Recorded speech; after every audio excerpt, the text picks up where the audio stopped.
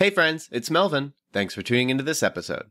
Here's just a few quick things I wanted to notify you guys about before we get started.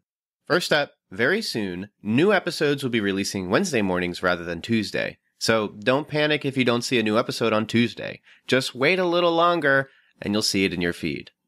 Second, we've introduced a mailbag. Check those show notes and toward the bottom you'll see a mailbag link. You'll then be able to text us any questions you might have about movies, the movie industry, or any movie slash Christian related questions you might have. Then we'll respond in a future episode, so send us your questions now. Up next, Patreon polls, which are available to Patreon supporters at the $3 tier or higher, have been updated. Supporters can now suggest films or shows to be reviewed at the end of each month. The two most liked submissions will become the options for the Patreon poll. So if you want to hear us talk about your favorite movie or show, join our Patreon and start campaigning. And lastly, whether you're a new or longtime listener, please consider writing a review or rating the Cinematic Doctrine podcast on iTunes and Spotify. Apart from financially supporting on Patreon, these are the two most helpful ways to support the show. And that's it. Enjoy the episode. You're listening to Cinematic Doctrine.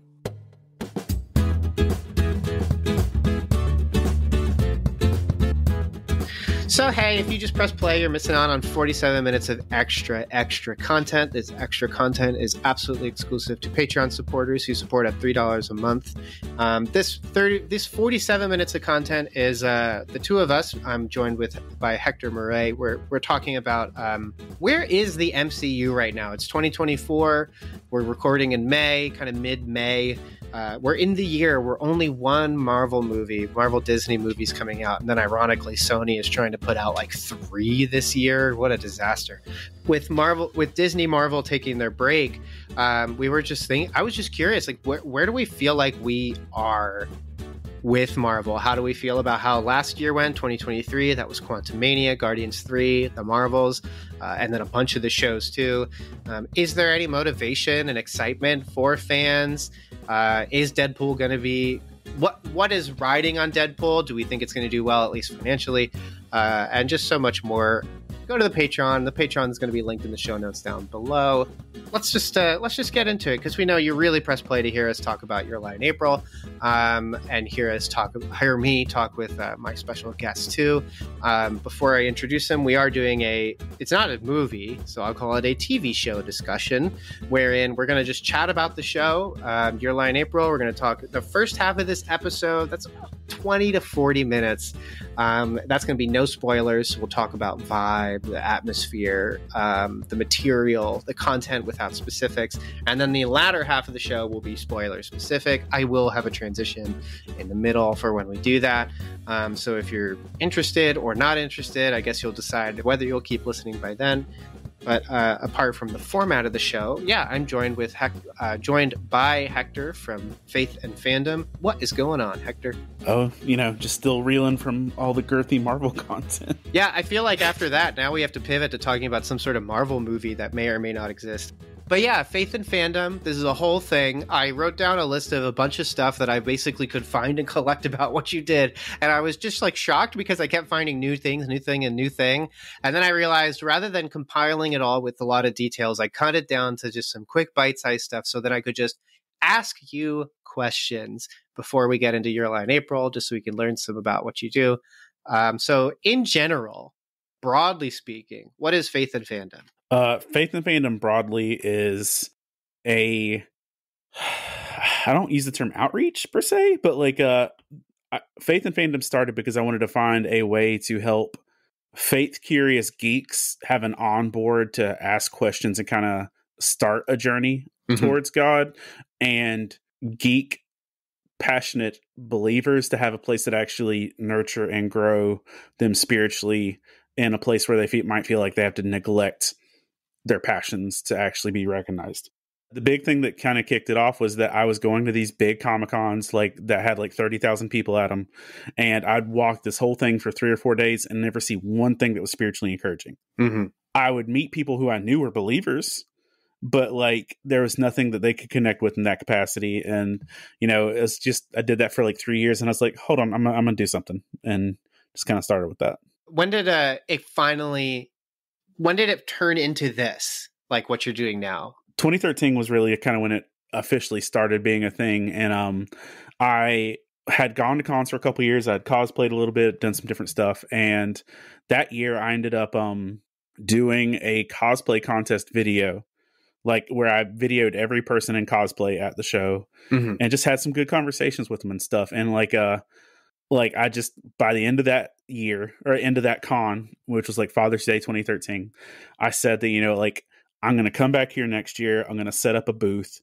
I'm gonna write a geeky devotional um, because like if I don't I don't want to annoy people. I don't want to force anything on Mhm. anybody. But if somebody sees like something like what I'm creating and is interested and wants to have a conversation, I want it to be able to be available. So I was like, I'm going to create a book. I'm going to do this. I'm going to set up a booth, and the the whole deal was um, it was supposed to be a one time project.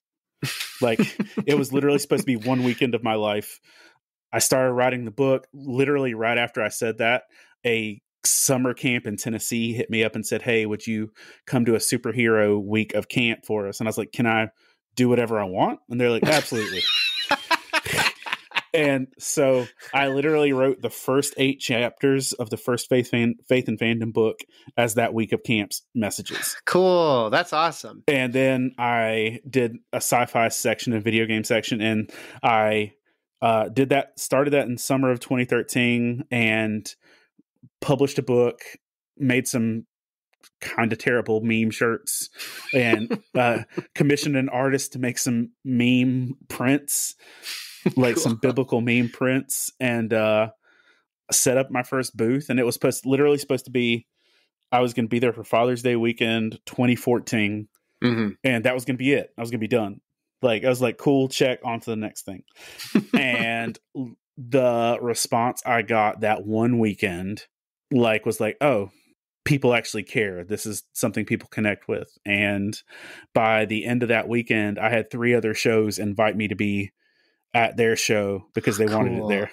And it's just kind of grown from there to like actually having church services at cons and being a guest at some shows and getting to go to San Diego and it's just kind of like grown from there but the the the essence has always whether it's in podcasts or comics or books or whatever else the essence is just to be able to be a place where people who are curious about faith uh, can kind of jump in and test their waters and people who already are believers can just be encouraged even through their passions having like interacted with a lot of people who are doing similar ideas, right? Like they're they're observing that like people who uh, uh, the, the first thought that came to my mind is like tech oriented, not tech like big tech, like you know big money, big tech, big uh, Silicon Valley stuff, but like tech oriented in terms of likes, technology, video games, the digital sphere, its faces. They're usually like places that like I feel like the church has routinely had difficulty in, and that kind of makes sense, right? Like it's every 10 to 15 years, the church is always a little behind and then it catches up. Or it doesn't quite know how to use it. And that's fine. I think there's a lot of orientation of like the church wants to be careful about that. But it also means that there's opportunity that might be missed for not church, but church offshoots or things that churches can support uh, in reaching out to people. And a lot of those programs that I've noticed have podcasts, have websites, do YouTube. But I was particularly interested in the fact that you also put out a lot of books. And it's more than just the one you announced. I think you said like eight at least. And so, like, what were was that just like you saw that it was a useful tool for people and you kept producing new ones? Or was it your own personal interest was like i just actually really enjoy doing this so i'm going to do more of it where, where did that come from?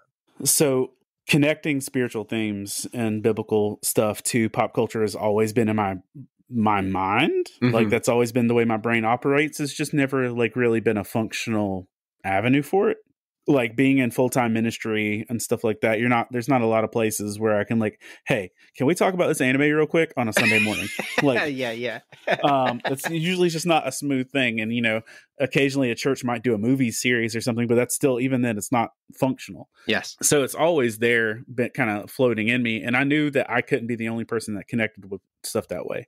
Mhm. so i wrote the first book initially like i said to be an outreach and then once i saw that it was functional then like you know i kind of intentionally kept going with it but i was ready to quit by the second book like hands down um what in particular like why it's one of those things of uh I guess it got successful and I had to do more work and I was tired of it. yeah, um, that's the so, best reason. Oh, this is uh, too much. I'm done. well, so I put out book one, and uh, before book two came out, I got hired by Clevver Movies, which is, you know, eventually became like fandom entertainment and screen junkies at different respective times. Mm-hmm. I got hired by Clevver Movies to be their resident geek writer.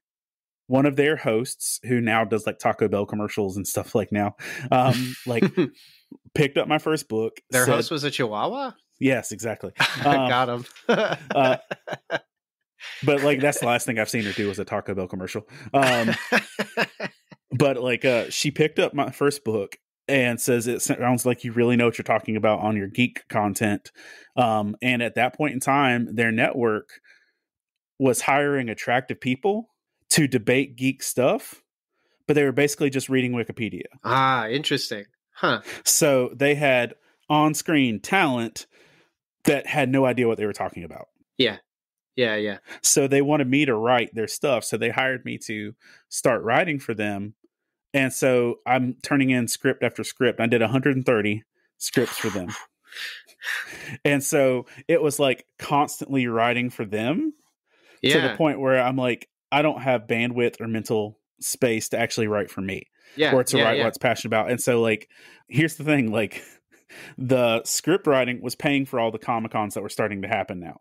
So yeah, I could, yeah, I could, I could go to cons and pay for table spaces and order books because the scripts were paying for it. Hmm. And mm. um, so I got the second book out and literally was quitting at that point in time. Like I was like done. And I told like one person at a con, and her name's Kimberly, and I pointed out every time we talk. I told Kimberly I was going to quit, and she literally like grabbed me. She's like, uh. she's like, don't you dare. she's like, people need this. I need uh. this. Don't you dare stop. And she like, uh. like threatened to manhandle me. Now, like, I'm not saying I continued just for that, but I was like, oh wait, you you actually care about this, and so it became a thing of like, I knew that if I was going to keep doing cons I couldn't show up to the same because if I was doing a circuit like this show, this show, this show, and it's circling around, I couldn't show up to the same show a year later with the same 90 page book. Yes. Yeah. and it'd be functional. Yeah. So my goal was to have a new book every year. And uh and I honestly was on track to keeping up one a year at that point in time. And but book book 7 happened, the pandemic, and so at that point in time I started putting all the devotionals online for free, like just putting mm-hmm. up on the website and where anybody can read it. And so, like now, every time I write something, um, I'll put it out as a blog first, then instantly record it as a podcast, audio book chapter, um, which also helps me edit because once I'm saying it out loud, I'm like, oh, that was stupid. Hold yeah. on. Yep. uh, and so I've just been doing that. And now um and i've done some other stuff not just the geeky devotionals but like um i today like i was like sending something to a show i'm going to be at in august and like i have 20 books like not just so cool. um not just faith and fandom but like we have a children's book. I've written a comic book. I wrote somebody else's comic book. I wrote an issue for so for somebody else's comic book some random devotionals um just different stuff like that but that's just kind of been the heart of it that is really cool. Well, Faith and Fandom, guys, check it out. Hector, where where can people find it right now? Um, was the website preferred? Spotify, iTunes, whatever. Um, you can find the podcast wherever you find podcasts. Um, you should be able to. Um, but uh, faithandfandom.org uh, will link you to. Uh, I want to say at this point it's a, like 170 geeky devotionals maybe 200 now. Um, and you can read all of the main books for free on our websites. Uh, if you go to our podcast channel, which is uh, faithandfandom.podbean.com, you can find, you can search audio and pull up all the audio chapters from the books. But uh, basically, in all the books are also on Amazon and all the places. But if you look up Faith and Fandom, you'll probably find me. There is some dude who has faithandfandom.com and I want it. So campaign. Yeah, I'm coming for, now. I'm loving. I'm lovingly coming for you, bro. Uh, hey, don't forget There's a lot of fun content missing from this episode because you're not listening on Patreon. Head over to patreon.com forward slash cinematic doctrine and support for $3 a month to gain access to uncut episodes with upwards of 40 minutes of bonus content each. You'll thank me later. Uh, so hey, if you guys tuned in, you're tuning in um, for for both that, and you're tuning in now for uh, Your Lie in April. Um, so whenever I reach out to guests or potential guests for the podcast, I always touch base and I say, first off, tell me a bit of the shows that you're interested in. Tell me a bit of the types of things you're interested in. Tell me what you're not interested in, so on and so forth. And they get back to me. Um, but because I was trying to get guests specifically for anime, because uh, I like to do anime in May or anime adjacent stuff, um, I had reached out and said, Hector, I was like, hey, I just need some anime in particular too. You got any recommendations? And I think one of the ones you sent in particular was Your Lie in April. Um, this show came out probably around the time I stopped watching anime religiously. Um, there was a long time where I just kept watching stuff all the time and then kind of just winded down. And we're getting anything pretty much after 2016, anything after the season Kemono Friends came out. That is pretty much when I stopped watching. So, um, so we are getting there now. And uh, Your Lie April is one of the top most popular shows on my anime list. Uh, I feel like that's always a good barometer for checking out what's most popular. And I know you had recommended this to me. Would, do you want to uh, introduce Your Lie in April for our listeners? Sure. And I'll just say this too: had the timing worked out a little bit later, I would have absolutely been talking about Delicious in Dungeon instead. Yeah, I've heard that's pretty good. Dude, it's really it's, good. it's my weekly happy thing. Really? Like when, oh, when, that's great. Like they're like 20 episodes deep. When I'm done here tonight, I'm watching this week's episode. um, but uh, Your Lie in April. Uh, so it's an anime about two uh, musically gifted young people with their own trauma and baggage that have a kind of what's the word? Uh, the lovers that never connect. Um, yeah, it's like um, it's like unrequited in a way. Yeah, un- unrequited love. Yeah, yeah. It's, it's kind of like that, but it's uh, it's music, it's trauma, it's longing, and uh, and a weird teenage package. And I I got introduced to it because my teenage daughter and I were driving to a comic con, and she's literally just sitting in the passenger seat weeping and I'm like, no. What? I'm like, what the what the crap is wrong with you? And she's like, I'm crying about an anime I watched, and I'm like, what are you talking about? Was she watching like it, it, then, or was she just no, thinking about it? No, okay, she was so just, she was thinking, just thinking about. That's awesome. She, she, had like finished it the day before. Oh man! and, but she was still sad about it, and like she was just crying, and I'm like, "What the crap are you? What's wrong with you?" And she's telling me all about this, and I'm like, "Dude, it can't be that emotional." And then like you know, I want to say two or three months later went by, and I walked in, and she's watching it over from the beginning. I'm, I'm gonna sit down with you and um, I sat down and we watched the entire thing in one sitting. Wow, one sitting. That's that's impressive. And I'm like, oh, my heart. Okay, so and literally, I watched this because my teenage daughter was really into it, and I don't regret watching it. And uh, it's I think it's got a lot of po- potent stuff to it. But yeah, that's that's Your Lie in April. Yeah, and now two adult men are going to be talking about your in April yeah. for the next hour and a half, maybe an hour. So that'll be we're we're definitely the uh, yeah. Let, us uh, talk about for... teenage romance. Yay! this is um, at the very least. Uh, I do know listeners are aware that I am a big fan of teen dramas and teen romance. I don't know why, but it's like that combination of high school envy and the coming of age nature of storytelling that I just find quite compelling. Um, yeah, like like you described, Your in April, very much teen drama, teen romance causing tears. That is definitely a consistent thing. The characters here are quite simple. Like you said, musically gifted. We have one character, who, uh, Kousei, who is our lead, who plays piano. He's a prodigy, but at some point he just stopped. And we're going to then, as the show continues, learn out why. And it's very early on, we learn that there's uh, trauma regarding his mother that kind of has uh, made it difficult for him to play music. And then Kaori, who is the uh, female lead of the show, who plays violin, and the two do shows together or a show together. Um, but she is also seemingly hiding a particular possible medical thing that is going on. Uh, and of course, the title, Your Lie in April. So the whole show, you're going, when does it come up? What's the lie? What is it? There are some other side characters, uh, only two others that particularly really matter, and a third one who I wish we I don't remember ever hearing their name, but I actually thought they were one of the more interesting characters, even though they're hard side character. But you have Tsubaki, who is the um, the neighbor who has grown up with um, uh, Kousei his whole life, and she's been kind of like an older sister, him a younger brother. But she has also unrequited love for him. And then Watari, who is uh, Kousei's male friend, who is currently dating Kaori, um, so those dynamics, if you are not an anime fan or have not watched the show, you will undoubtedly forget about all of the dynamics of the friendships. Don't worry, we will keep you up to pace. In particular, or not even in particular, just in general, what did you think of Your Lie in April? I'm a big music person.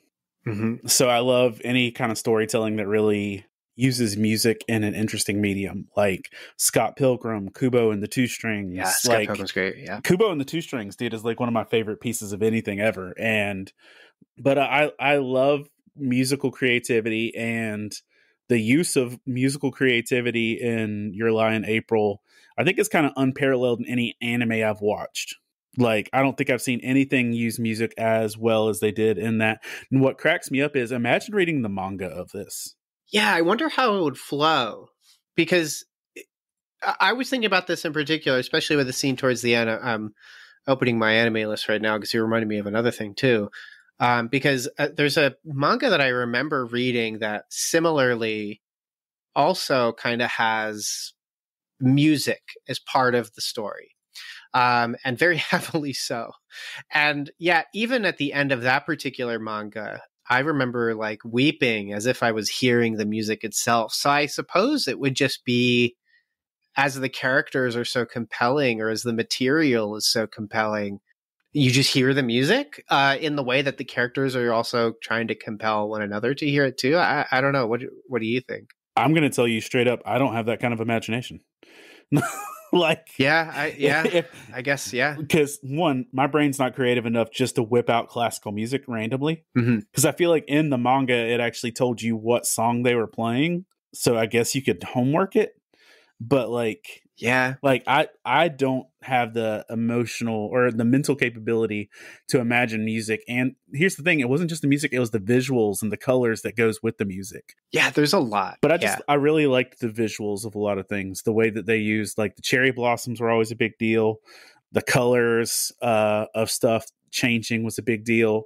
Uh there's some cat there's a thing with the cat like in the storytelling a little bit later on yes. the way the yeah. the way that water and the music notes play out there's just a lot of the the ties of the visual medium. And i'm also a, a sucker for good lines of dialog mm-hmm. i'm like i have a whole like roster of quotes. I'm just like that are just like gorgeous quotes from this. And like the writing especially on some of the things just like like not spoilers but like uh no yeah go ahead. Yeah w- which ones? Line like uh let's see sometimes it's not the song that makes you emotional it's the people and things that come to your mind when you hear it. How could i forget about you when everything about you has already become part of me? People want to hear songs w- with the words they're afraid to say. The the people i love they keep on leaving me and the music that brings to and the music just brings to mind what i've lost. It's pretty much consistent that yeah there'll be these quick almost like haiku sized. They're not haiku, but haiku sized lines that are really pretty densely packed with meaning. And I, too started to notice that, and it's it's from beginning to end. They are peppered in throughout the uh, the dialogue in the in the show, just like little judo chops of like beautiful line, ha, out. Yeah, yeah. they're they're in, they're out, and then you're left with it in a way that's like very very memorable. You may not know this, but the easiest way you can show your support for Cinematic Doctrine is to rate and review the podcast on iTunes, Spotify, or wherever you listen. So press pause and share your thoughts. We'd love to hear what you have to say. And then press play again so you can hear the rest of the show. Yeah, I, I I decided to go the classical route of writing down what I liked and what I don't like as my introduction to what do I think about Your Lie in April. I I like the classical music. I like the I I am just in general a fan of classical music. Uh, but because the whole show has these every three to four episodes, a new time like they're playing uh, in a way that's like a focus of a, a song as a focus. That was always enjoyable. I really liked it. Uh, I like uh, the second thing I liked was music as metaphor. I enjoyed some, but not all the musical metaphor stuff. I think episode five is right. Like in my notes, I wrote like, "All right, this is it." Like I, I like this a lot. Um, I felt that was the strongest um, usage too of how the music is metaphor. So to give some background, Kousei, um, he, uh, I, I, yeah, this is like episode one or two. Kousei basically has correlated his playing of music and piano. He's 14, and when he was 10, uh, his mother died, and he correlated uh, his mother's child abuse of him and then death to his music. And so now he is like in, unable to hear the piano because when he does it, he essentially can't stop thinking of his mother and then the abuse. And um, this episode, he, through circumstances, forced to play piano. Um, not forced, he is coaxed into and accepts it. Um, he's kind of a, a, weak little turd for like half the show until he decides to make decisions later on. And even then, there are just a few. We'll talk about that later. But um, he uh, is now playing piano and he's playing and he can hear it. And then he's like, oh no, it's happening. And like the, the screen fades, it changes. He's like transported into this like basically mind palace, this mind torture palace of his own doing. And like his mother is present there and like she's got the scary anime face, the one that they've been using for the last 15 years. Um, and uh, he's not able to hear the keys. And I like the way that they do this. So if you've ever pl- pressed in a keyboard when it's turned off, it just sort of sounds like hollow. It sounds like a slosh. Yeah, it sounds hollow, like sloshing water in a bottle. And um, so now that's the noise that he's getting. And he also sounds, he also describes it as drowning too. So it, it just is awesome here. And you hear like the music faded and it's still going on, but it's like gone. Um, it's a great episode. Episode five is awesome stuff. Uh, in my opinion, I think it's the best episode of the show. This moment is just really cool, and it comes back a few other times as like he's experiencing that drama in different ways. Um, and I just, yeah, I, I, thought that was all particularly really neat. Uh, what what did you think of the showcasing of the music as metaphor? Though, just seeing how it plays out throughout the whole thing, like from beginning to end, is like I thought it was brilliant, and I really that's honestly why I was saying like I don't know how well it would have translated in print or in even live action because the music as the metaphor with the visuals like made all the difference for me. Mm-hmm. But like just the way that the music was also like the whole gateway for trauma, for healing, for mm-hmm. connection, mm-hmm. for relationship. There was just a lot of where the music went with it that uh and the playing of it and that Kaori's was wounded hope and that uh that Kousei's was like muddled anguish. Yeah. And and like the fact that she was like the whole thing was her him her bring her music and her presence bringing him out of that and mm-hmm. i also um learned like of a term uh recently there was an article so like my like uh my favorite uh movie of all time is almost famous mm-hmm. and uh like cameron crowe also made a movie called elizabethtown yeah there and then we've already mentioned scott pilgrim uh, right. somebody. Can I guess the term? yeah I think I know what. Are you going to talk about Manic Pixie Dream Girl? Yeah. Yeah. Okay. Because I have uh, thoughts on that too. we'll talk about it. uh, and that was and that was the thing was like um like I feel like Kaori has a bit of the manic pixie dream girl thing. A bit. Oh, that's a lot. God, Sorry. Go I, ahead. I mean, I mean I, listen, my kid's gonna listen my kid's gonna listen to this at some point, so I've got to be nice about it. Um, because uh, I'm sorry, like, I'm sorry, uh, his daughter, because in a couple minutes I'm gonna have some thoughts that you may not enjoy. Oh, and, and, listen, I, am not saying this to be like uh, she she read over your notes. Uh, oh, she did. of uh, of just okay. the opening paragraph. Okay. Like and like, you know, she read over your notes and she's like, "Excuse me? what? She's like, uh, and she straight up said, "He has made an enemy." just to be, just to be clear, because I know that the the curtain is being unveiled a little. I I still want to hear the rest of your thought, but but these are my, entirely my opinions that I will be sharing. um, obviously, people can enjoy what they like, and also I'm outvoted. This is one of the single most popular mangas and shows on my anime list, so that's fine. As is Angel Beats, and I don't like Angel Beats. I think it's awful. So I just, I just okay, okay. But but you were but you were saying you were you were introducing that like you're newly introduced to the Manic Pixie Dream Girl and yeah. like this is a whole thing. Uh, go ahead. And go ahead. I, I didn't. I had not. This is the first time I've equated Kaori to Manic Pixie Dream Girl. Mm-hmm. Um, just be, but I was like, oh wait, no, this totally fits. Where the the primary female character exists to bring the male character out of his sullen slump. But like, but between Almost Famous, uh, Elizabethtown, Scott Pilgrim, this tracks. Mm-hmm. And I was like, oh, yep, she's a Manic Pixie Dream Girl that totally fits. But you know, I I I'm a sucker for emotional beats and uh, good dialogue, and I think this had that in spades. You know, for those things. So yeah, go on. Well, so in defense of Scott Pilgrim, uh, one of the things that I heard is important to separate the Manic Pixie Dream Girl from being a a tool for the betterment of the male lead is that the Manic Pixie Dream Girl is no longer the Manic Pixie Dream Girl when they have flaws that also they independently are seeking to overcome or could overcome separate from the lead character.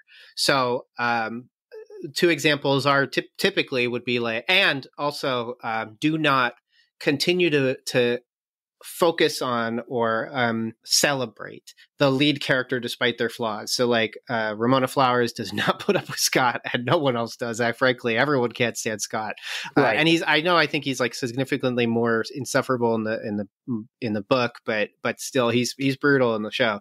Uh, and the more times I watch it, the less I like him, but the more I like him as a character at the same time. It's. Um, I wouldn't like to know him, but I would. I very much like him as a character. Uh, Eternal Sunshine, I think, is the other one that's like quoted as like the anti Manic yes. Pixie, where it's like she has her own character and she has her own problems and and Joel cannot fix them and she cannot fix Joel and that's that's why the ending's so beautiful. Yeah, I so I'll I'll save my thoughts on Kaori after I finish the dislikes. So I had a couple dislikes um and I I tempered them to ensure that we had a good pace for the episode. so the list of dislikes, I, I, put them in an order, culminating with Kaori at the end. But uh, first one was trauma. Um, similar to anybody who listened to anime episodes from last year, and, and even additionally, we did Belle, I think, in February, not in anime. I, I have yet to really watch much of this. So I, I criticize Kyoto Animation in particular last year because I said they constantly do this extremely flowery, beautiful imagery, but in a way that seems pedantic as opposed to uh, counter to trauma. So my my concept of saying counter would be like a film that showcases a majority of and an, an excess of beauty in a way that is aware of beauty, um, while simultaneously showcasing how man uh, in his sin disarms beauty and, and, takes advantage of beauty. And in that way, it's actually almost pointing a finger saying, what gives you the right to do that? So I think Miyazaki does that really well. Miyazaki constantly has beauty and then also points a finger to, to man. Now, he doesn't do it aggressively because all of his films are pretty accessible, but I think Princess Mononoke is a good job of that too, where it's like, what gives you the right, uh, as, as Eli observed in a couple episodes ago. Right. I felt that Your in April's usage of trauma kind of continued this recurrent issue I keep observing where like the child abuse plotline in the particular show just feels so I kept using the word undercooked, but I felt like it just I just felt wrong. I didn't feel uncomfortable. I didn't feel offended. I could totally watch the show. But I just felt like it, it, it overstepped like the acceptance of what was going on anime always tries to go for middle school age because uh, I know narratively, even in Japan, it works better because you're going into high school is kind of like us going into college. You're getting accepted. You're you're being evaluated in ways that are very different. So that age bracket works. But that then means we're being told a 10 year old was physically abused by their mother, and that just makes it so much harder to buy into than how Kousei reacts as a 14 year old. And I just, that was really hard for me to get into. Thankfully, in the show, about 13 episodes in, that kind of gets finished with but it just it just rubbed me the wrong way in a way that just narratively was like you're asking a lot of me here elaborate on that for me like so like the 10 year old to 14 year old response. Flesh that out for me. I just think like as an audience member, being told that someone who's 10 years old is being physically abused is really brutal. And I I recognize that a lot of anime is is is engaged by a much more youthful audience. And so I think that as an older person, as a youth, I when I watched anime that maybe had abuse in it, I saw myself as the one being abused. So then I looked forward to the time when there was catharsis of release of that. But as an adult now, I'm watching it going, I, I, this feels unacceptable. Where's the justice? Because as an adult now, also living in Pennsylvania, I am obligated if I witness any abuse to a child to, to, to I'm legally obligated to make a call. Otherwise I can go to jail too. So there's just a difference, I guess, in just being older now, I don't know. I'm trying to explore that myself here, but just like something about that felt wrong. And then also they're 14 and they're just the way they're acting as someone who experienced that kind of abuse. And then also the mother dies. So now they're left with like the unfinished work of that. Just, it just narratively seemed incorrect. Um, and then I know that I, I observed online, like MyAnimeList and other places, people criticize the balance of tone because the show tries to be very funny in the stereotypical anime way. So if you've seen anime, you know, like the baseball comedy. stuff and yeah, yeah. And so then doing those things just seem confusing. Um, I know, like I said, a lot of people love the anime. So Obviously, it's working for some, didn't work for me. Enjoying this episode? Grab that share link and tell your friends. Word of mouth is the most effective way for a podcast to reach new listeners, so don't be shy. Share the episode wherever you can. I know you mentioned a note too about maybe disliking the the trauma stuff. What, what was it for you that like was affecting you? I feel like just the representation of it, but also just the um you know, it is the brutality of it. Like, yeah, it's yeah. harming a kid is way worse than like pretty much anything else. And um, like, you know, if it parental abuse is its own thing, but you know, there was just there was just so many layers added to why it sucked mm-hmm. that you know it's like okay one it's a parent abusing a child that sucks it's a disabled parent abusing a child that's yeah. its own layer of suck. It's a disabled parent that's projecting uh, success and failure issues onto the child in their abuse. It's then you've got the inadequacies, inadequacies and trauma that comes from that. Then the parent dies, mm-hmm. and that's unfair. And you've got the the loss of that. Now, like I will say that, uh, you know, because I was talking with my daughter before this, you know, on the way like when I was driving home from my, my other meeting, I was like, let me let me rehash your thoughts on this. and um the thing is that, you know, she enjoyed those aspects of it, not enjoyed like fun, but like I understand, yeah. She yeah. enjoyed those aspects of it because she said that as a teenager, everybody's life is unjustly messy right now. Yes. Yes, that's definitely true.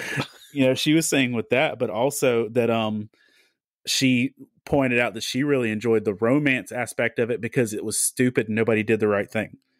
and she's like, yeah, she's she's like, I watch romance movies and stuff, and it, it, all magically works out, and the teens get together. She's like, that's not what high school's like. She's like, high school is like you spend the whole time wanting somebody, and they're with somebody else, and then you never get to be with them. Peace out. Yeah, yeah. They go to a different class, or maybe you just don't get scheduled right, and you have no power over it, and it's and it's over. The romance is done. So frustrating. Yeah, I there was um one of our early episodes, one of our early joint episodes is an episode on the Netflix movie To All the Boys I'd Loved Before. Yeah. Great movie. So good. She loves that one. That's that's a really good one. And uh, both of them, Lana Condor and Noah Centineo are so so good. But Daniel, the my co-host at the time said that like what makes probably teen romances really enjoyable to watch is like they're written how we would want to have sounded as teenagers. Because right. like when we're teenagers, like we don't uh, even now as an adult, I barely know what to say um, sometimes. So let alone being a teenager, I just want to talk about the things I'm good at. You want to talk about Call of Duty Zombies? No, because it's Thanksgiving. All right, I have nothing to talk about with you. Then sorry, bye, Grandpa. So like, yeah, there's there's there's so much um but I feel so much, right? And I can't figure out how to get that out. And so I can understand that. And I think that to me, like I, I could accept a lot of the dialogue and communication and the heightened communication of the of the show. But like as the story continues, they do talk a bit more introspectively in a way that may be a little outsized to their perspective. And then you go to the contrast of something like Neon Genesis, where they kind of almost talk exactly like they would at that age and ruin everything at the same time, too. But I think, yeah, something with the trauma plotline in particular was a little much. Um, my next criticism I had was uh, it's really repetitive. Uh, I found a lot of the plot details were belabored several times over and over. Characters, uh, I'm just going to read my note verbatim. I think this sums it up well. Characters routinely monologue about their feelings, and then those feelings don't change that often um, for a 22 minute episode or two, 22 hour, uh, gosh, 22 episode show. Um, Similar words, visuals, and most criminally songs are also offered in Your Lie in April. There's one in particular that I really like to play a lot.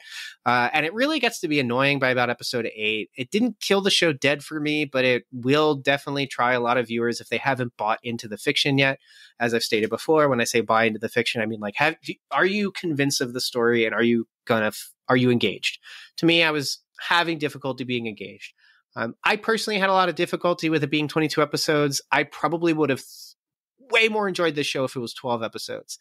But yeah, I thought I thought it was pretty repetitive. I think you nodded too. Did you did you catch on that too? That it felt like we're being pretty cyclical here.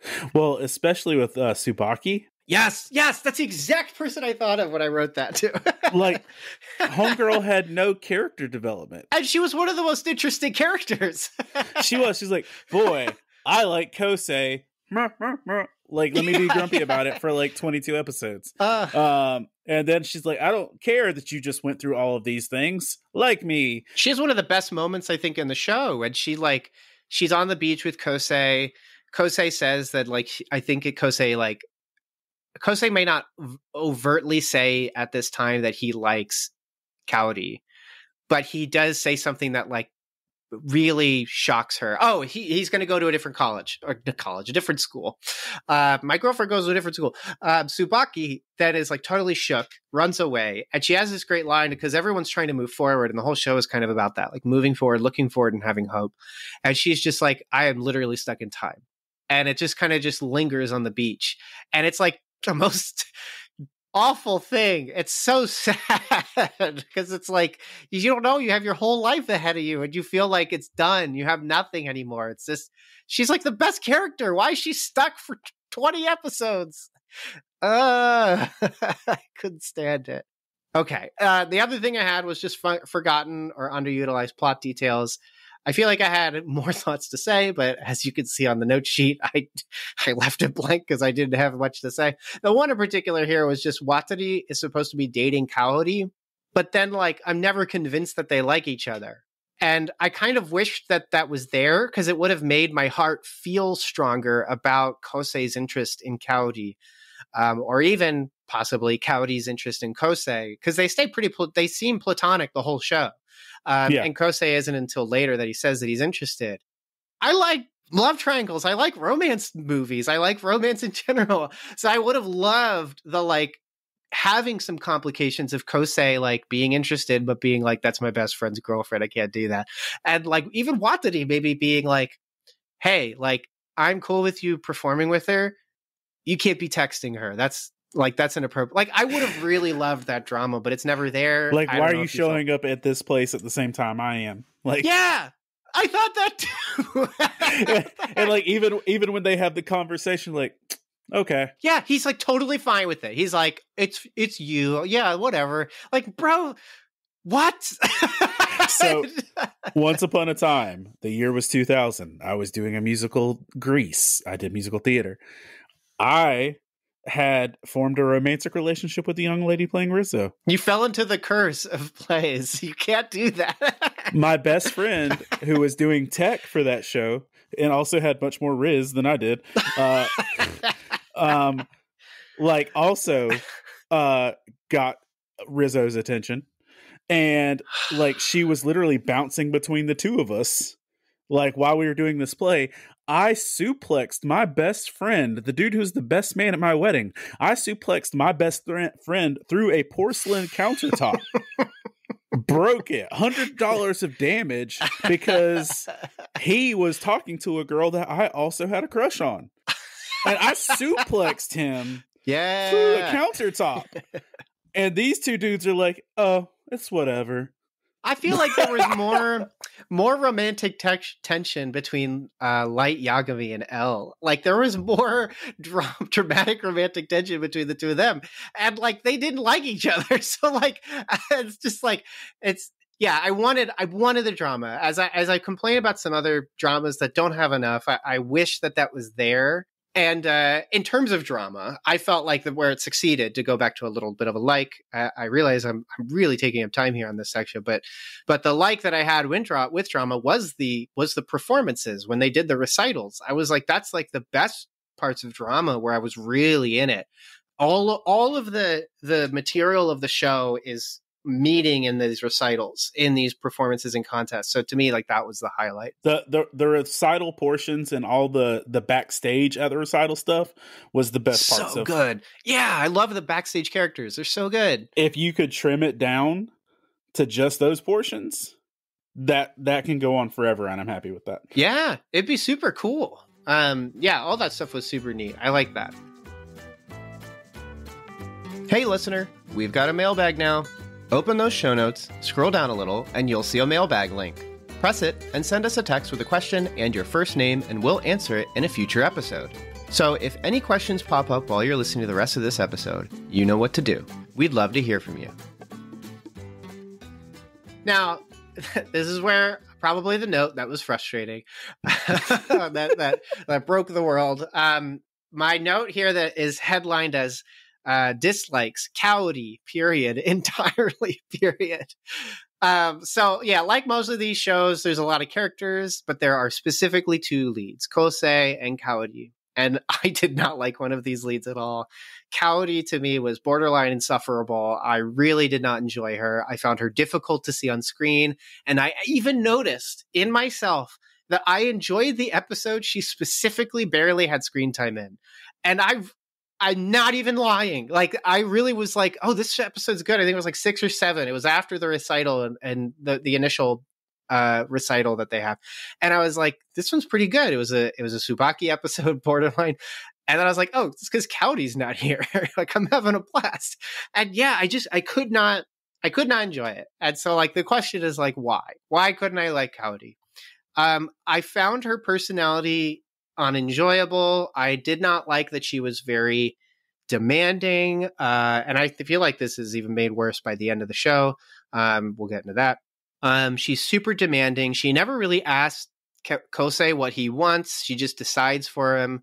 Um, she is very strong anime character in terms of like stereotype anime, like aggression and like she's not tsundere, but she's like she's got that bit to it where she's like I want to be near you, but only by this particular way, or else I'll harm you. And and the harming and the violence in the show is much more of a joke, but it's still like the show's grounded, so like it still feels like it's happening narratively she's manic pixie dream girl for sure because she does the thing like she does the things that are silly and crazy while she's insane and she's like jumping off her bridge and do it like do it it's uh, a, i just could not buy into that i was like if if this person was real and i'm a christian i love the lord and i want everyone to know him and i want to i want to be a friend with everybody i want to find a way and i want to endure a way to do so but if this person was real out of all four of these lead characters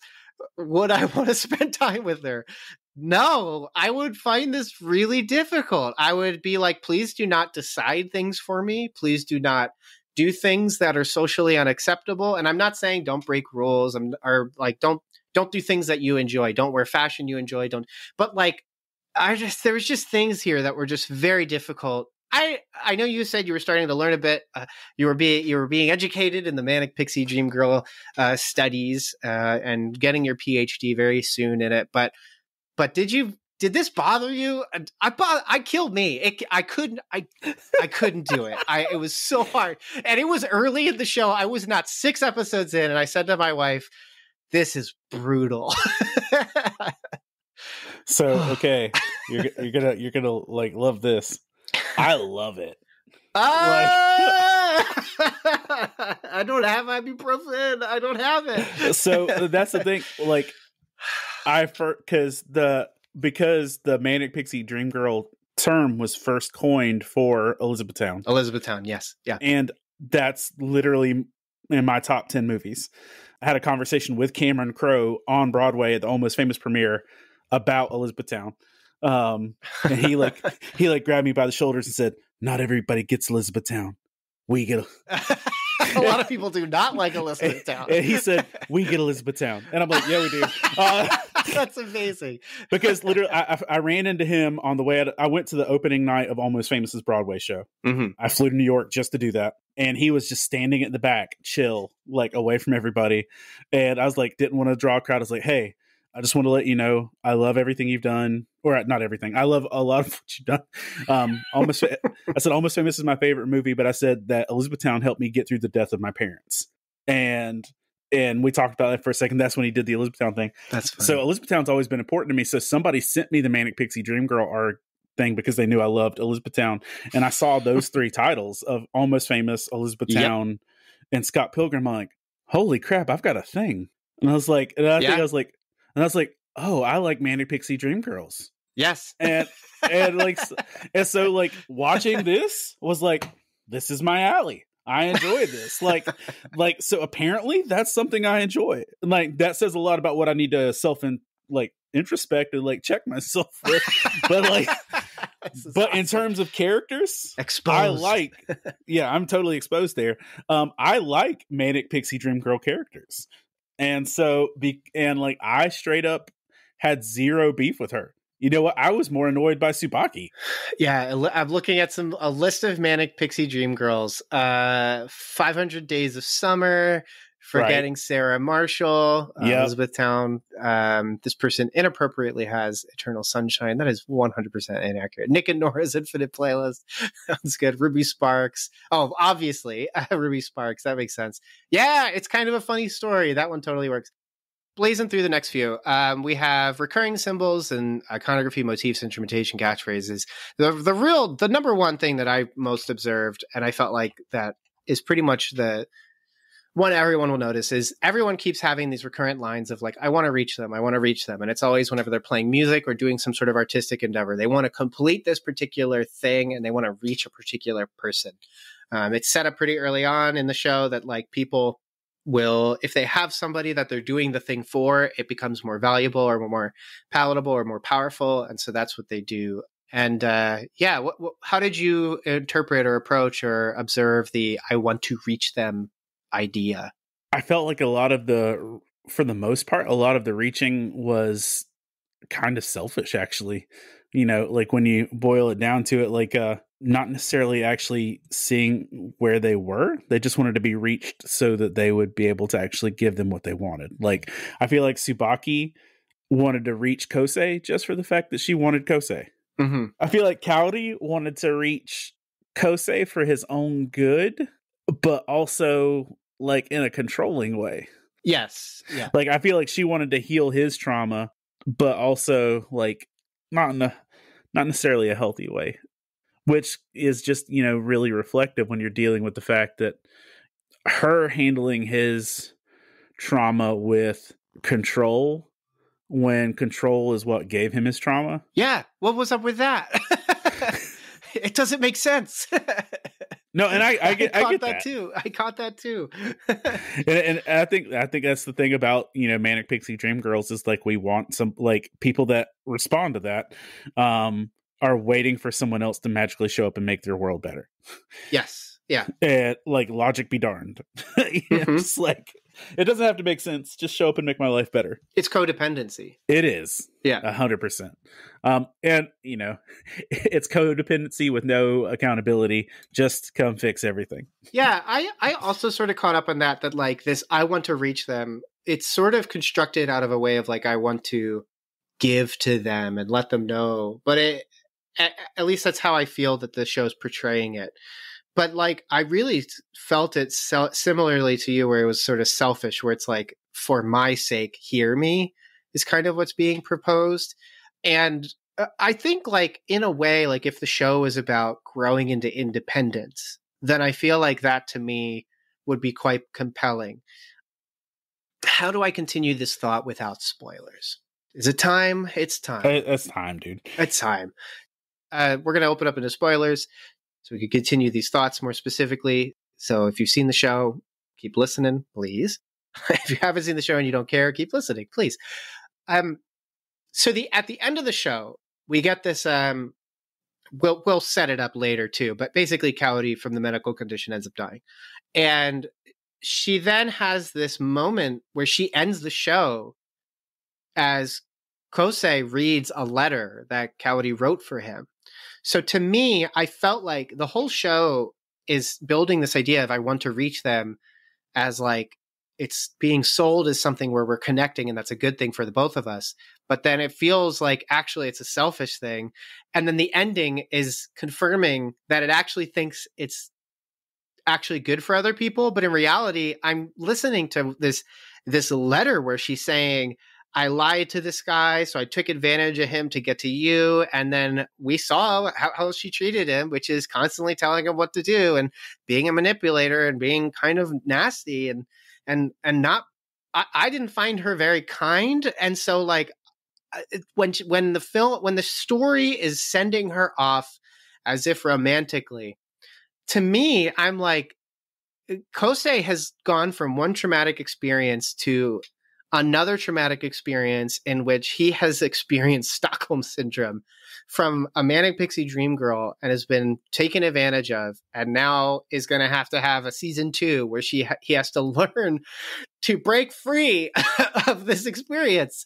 And you have this like almost like a parasite who entered this who who even says in their letter that they were parasitic. I eh, eh, it's just like that they came into this friendship that they weren't supposed to be a part of. I just it didn't it didn't work for me, man. It's something was wrong. And this, like, I want to reach them thing, I felt like really ties together what doesn't work in a broad sense and then the specifics we'll get into later. Hey there, listener. Want to influence the podcast? Head on over to patreon.com forward slash cinematic doctrine and support the show for $3 a month. In doing so, you'll be able to vote on a movie poll that picks a film we discuss each month. So jump on over there and have your voice heard. So so so with the letter and the thing at the end, like to me, the whole heart of it is um, she knew where she was physically. She knew she probably wasn't going to make it, so she Yes. didn't want to emotionally entangle him. So the lie wasn't, you know, just about you know Watari. The lie is, I actually do like you, but I don't want you to get hurt. So I'm going to keep my distance until I'm dead. Razzle dazzle. Mhm. Um, so like I feel like it was less I get the parasitic element, but I feel like it was less the parasitic element and more of uh I'm guarding your heart so that you don't end up loving me while I'm alive and you can just mourn my memory.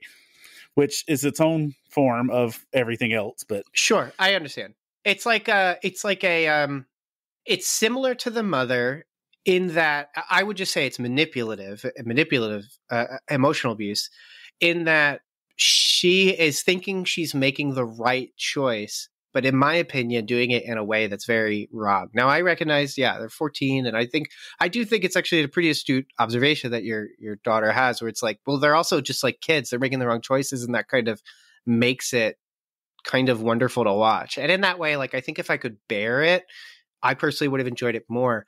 But there was just, yeah, it just it was really upsetting to me. Even like, and I I've even said it on the podcast. I like stories about people who lie.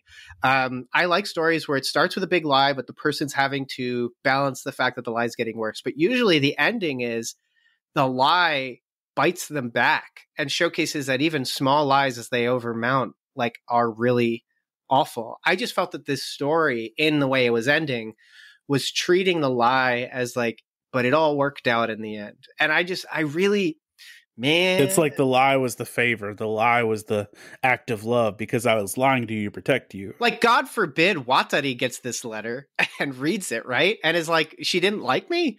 Like, what if he liked her? like, that would be so upsetting. I, I, I, I hear you, but at no point did Watari ever give the vibe of, oh, I actually care.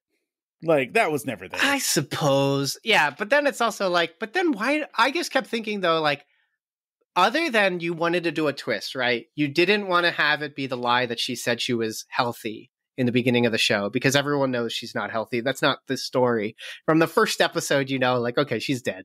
Uh, it's like just fine. But like, other than making the twist be actually my lie was that I'm into Watari, I just I don't know. It felt it felt cruel in a way that like didn't quite understand that it was so cruel. And I feel like my whole experience with the show was a constant usage and i'm criticizing more the writer here that like i feel like the writer kept utilizing tools that it didn't that they didn't at the time perhaps know how to use them. The weight of child abuse the weight of lying the weight of romance um, the weight of ptsd it just seemed it seemed inappropriate irresponsible even and yeah in in this place but i digress. Moving into prominent significant moments which will combine with the ending because they're roughly the same were there any particular moments in the show you were starting to talk about one but were there any particular moments in the show you wanted to talk about the the cat scene mm-hmm. like um the cat that he found in the street and chased Yes. and that got hit by the car and everything else i felt like that was a really good non Kaori related moment of him and his trauma and everything else with that Mm-hmm. I felt like that was a really good, you know, not Kaori centric moment of him healing and just recognizing his own trauma in those capacities. I also really liked Kousei's like uh influence on the other pianists, like the other backstage crew. yeah yeah yeah Like i forget like the the names but yeah i like them. yeah, same. Um, but like the people that were like trying to aspire to him, like they looked at him like he was the like the end all beat all challenge and he was barely functioning. And I'm like, how many times were we just showing up like barely existing and people view us as threats? Yeah. Um but like I really in- liked the the kind of uh, iron sharpens iron vibe of like really challenging those people to actually want to be more, even though that wasn't his goal. which he consistently does, um, including to Kaori, as we learn in the ending, that like he he doesn't know it about himself, but his proficiency and talent that he has trained, even at the expense of abuse from his from his mother, has become an inspiration to several people um, who want to play like him, have the commu- talent like him, and ostensibly like the communication like him through he does, which he does through his music, which is pretty cool. I think that's a neat idea. Let me throw this at you, not not to dis- not to argue like your view of Kaori, but to say this: watching someone else love something makes it more beautiful. Totally. And so, watching Kaori, sorry, watching Kousei love Kaori, even on a platonic sense, made whatever flaw she had a little more buffered. And like his dialogue towards the end, like like in their like his reflective moments of uh he said this every moment I spend with her is like a roller coaster. She is the journey with no clear destination in sight. It's like your freedom itself. And she says freedom is what we find out there. And it's just like like moments like that, just watching how he responded to her, like I feel made like his response to her made me enjoy her more. Like because I guess, you know, not outside of the whole Manic Pixie Dream Girl vibe, is watching how he was affected by her because even regardless of like her intentions or you know positive negative whatever else he came out better on the other side of it Mhm. he'll have future trauma but Mhm. he's he's better off than when the story started in terms of trauma than you know with his mom and everything else Yeah, to like trunk, there's to kind of cut down one of the thoughts I had, because as you're describing that, I'll, I can apply it here. There is a sense in which, broadly speaking, we there, there's like two responses to wrongdoing. There's civil, uh, three. There's four. Okay, there's four. There's vengeance. you try to get revenge on someone. That's wrong. Yeah. There's justice. That is th- through government and legal means something takes place. Civility, which is like passive for forgiveness. It's not real forgiveness, but it's more like you wronged me, but for the sake of betterment moving forward. So not for that person or even for myself, but the betterment of everything. Let's continue and move forward. And then there's like Christ, right? Which is like you have wronged me. Christ loves me. I'm going to endure this wrong because someday I want you to know Christ. Um, or perhaps they've repented, right? And and that person repents and comes to you and says like I wronged you, and you can be like I forgive you because of Christ. I I think like for me, like you eh, that works in a real sense, but to me, like those things are hard for me to to apply to Kaori because I've just found her so unrealistic. Kaori is less a character and more of an ideal, which is the manic pixie dream girl. It's not a real person. The girl doesn't exist. It's her fantasy, the fantasy version of of what she wants. She loves you. She adores you. She wants what's better for you. Also, she's really pretty and she's like a size two. So, like, uh, like there are things about this. Dude, there's that, not a fat person in this movie or not, in this show. Not in any Japanese anime, roughly, except for like a, a couple. But there's something like that to that. Like, I think like if the show was more if it wanted to explore the things that I feel like you're describing, I would have to see her as a real person. But if I see her as an idea, it's like, of course, I can resolve problems with an idea. I'll just think about it. but like, but I find people more complicated and frustrating. Um, and I think that that's sensible to say because people are. Uh, but I also find people more beautiful. And so, like, a lot of the beauty that I feel like is being described about her, I can't see but I only see frustration because I, I have difficulty believing that it's real. I know I'm like uh, I'm I'm being cyclical myself, just like the show. Been itching for Cinematic Doctrine merch? Check out the support tiers on Patreon. We're offering merch to those who support at select tiers. So head on over to patreon.com forward slash cinematic doctrine and share your support. There's a link in the show notes too.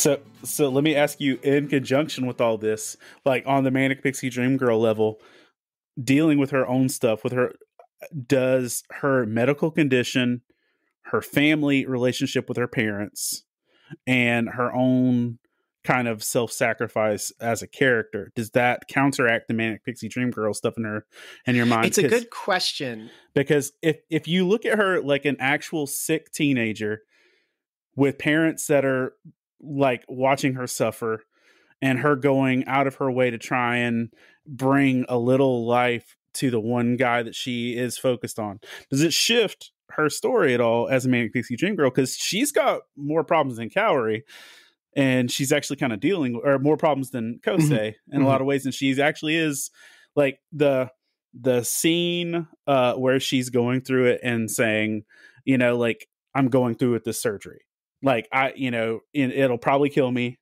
but I'm doing it anyway. Her parents are begging her not to. That whole situation.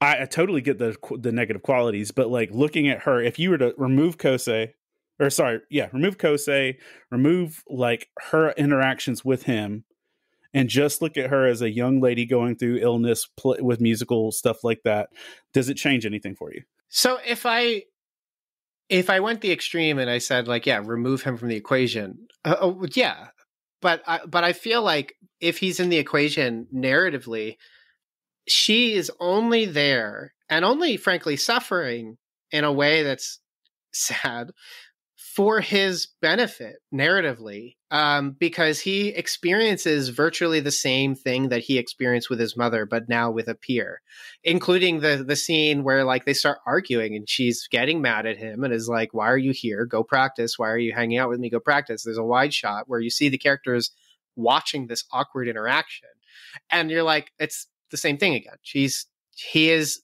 reliving now quite literally the experience with the mother and criticizing her is more me criticizing the author's usage of her. Right, wherein, right. like, I felt like if the author wanted to breathe life into this character, she needs to have other things at stake other than even her romance with Kousei. I, I just, I, and I found that, I just found that unhelpful um, for myself um, while watching the story to like just see this person suffer, but for the betterment of a character that I don't know, doesn't himself even have really independence. Um, it feels like. Because he even when he wasn't being bossed around by her, he then gets another teacher who then says like you're going to do this. And he's like what? Okay sure.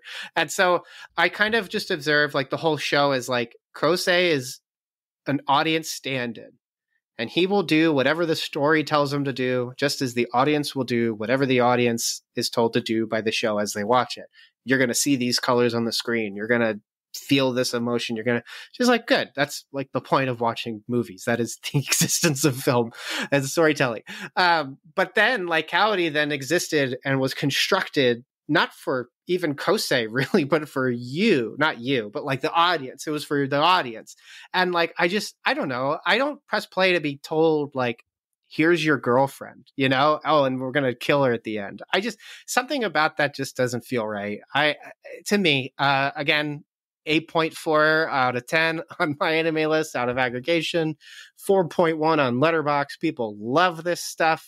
I I just couldn't get I couldn't get it. And I want to. Like I said, I went into it wanting to like I want to cry. But yeah.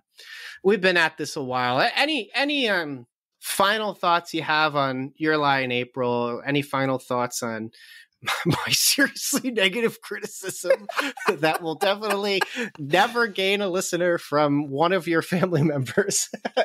yeah, I'm, I'm, absolutely not going to tell her where to listen to this. Oh, um, I think I would genuinely be interested in hearing what she has to say because uh, technically she'd be right what she thinks. I, the joy of storytelling. it is the joy of storytelling.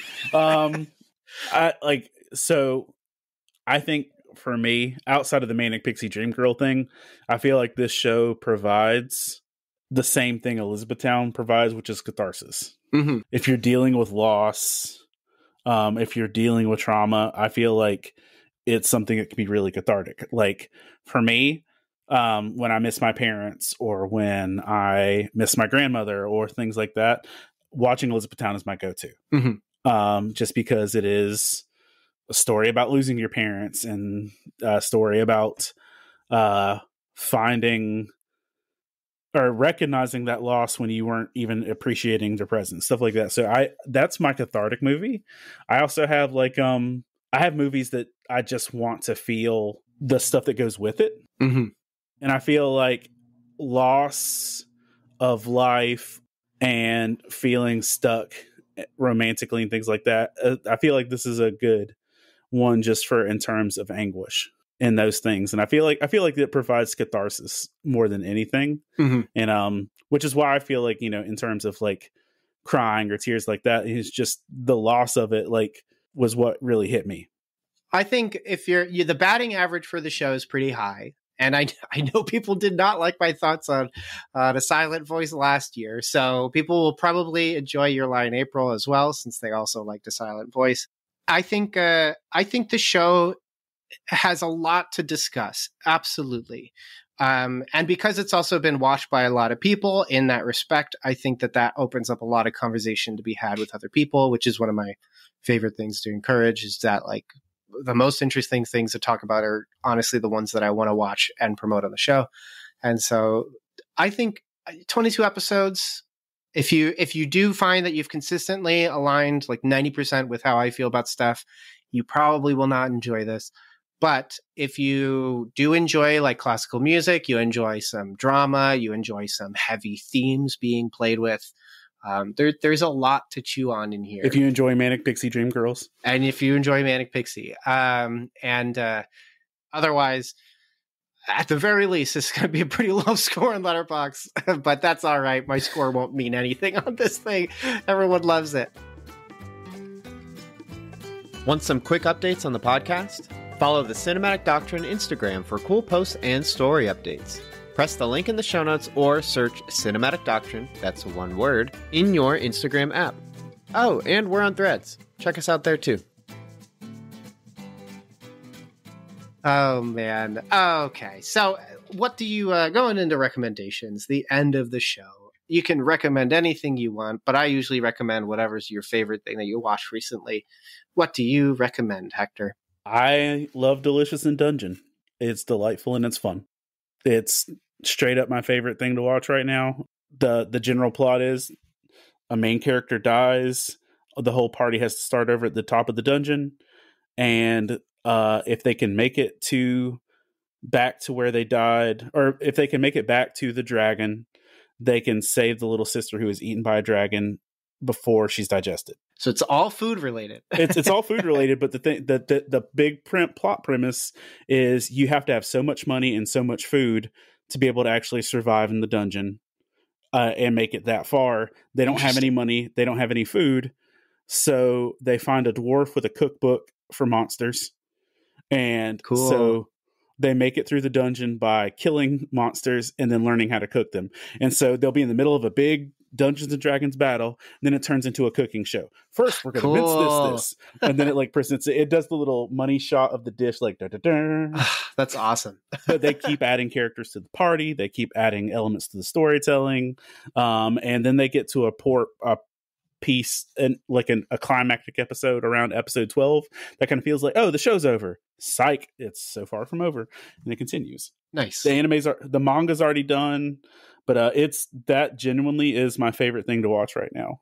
Above like X Men '97 just finished and that was great, but I wasn't surprised by that. I was surprised by Delicious in Dungeon. I'm gonna recommend. I I realize I now have like two recommendations because of how we started this discussion. When you when you asked how would they like picture music on a page, it reminded me of a manga I remember reading. So I'm gonna briefly mention two things. So one is a manga. I don't know where it's printed because I read this back in the day when I didn't buy everything. this- it was Uh, just on it just was magically on the internet Ah, Yeah, that's yes. uh, someone just took photos with their camera and sent them to me. Um, this manga is called. I'm not going to even bother with the Japanese name because it's a little out of my wheelhouse. But the um, English name is Our Happy Hours. It is one volume, eight chapters. I'm going to read this premise to you.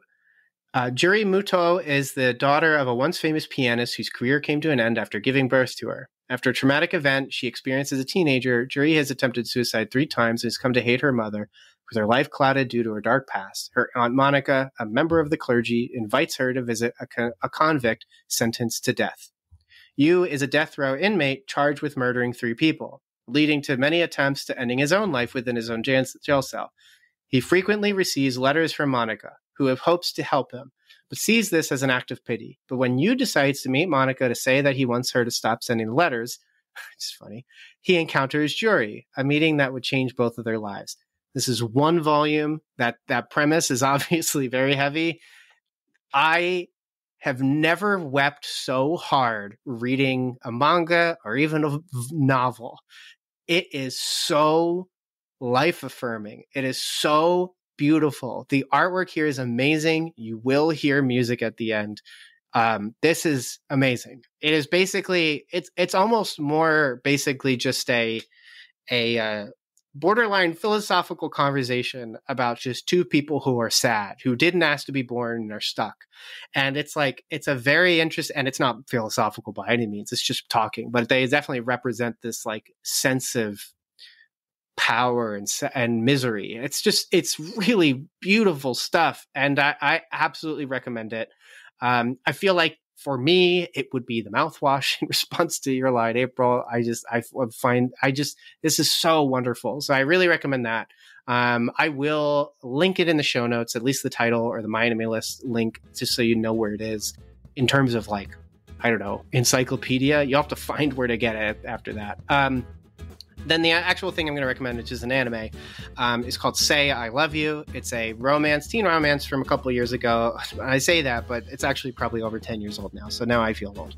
Um, but it is the premise is very simple: uh, guy meets girl meets guy through a simple meet cute, and then it turns out to be much more of a a very grounded, realistic romance story about high schoolers. They're not 14, they are 18 or 19 or 17. Um, and they all actually look it too, because this was before Moe Blobs took over the industry. And you basically learn about how the, the shy girl and the really cool guy become interested in each other. There's all these much more complicated characters throughout the story as well. It is 13 episodes, and there is an episode that is an OVA that is not on the Blu ray, so you'll have to find that as well um, and it basically ends the show uh, as they all head off to college. Um, but yeah, it's I, I I love it. I think about this frequently. I've been meaning to rewatch it myself. It's very good, um, so definitely check it out. Link in the show notes as well for that Just Watch link.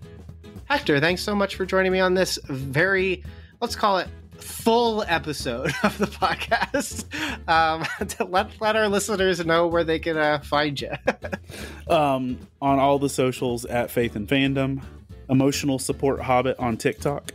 Um, That's awesome. uh, and uh, but like faith and faithandfandom.org for uh, all the devotionals and links to basically everything else.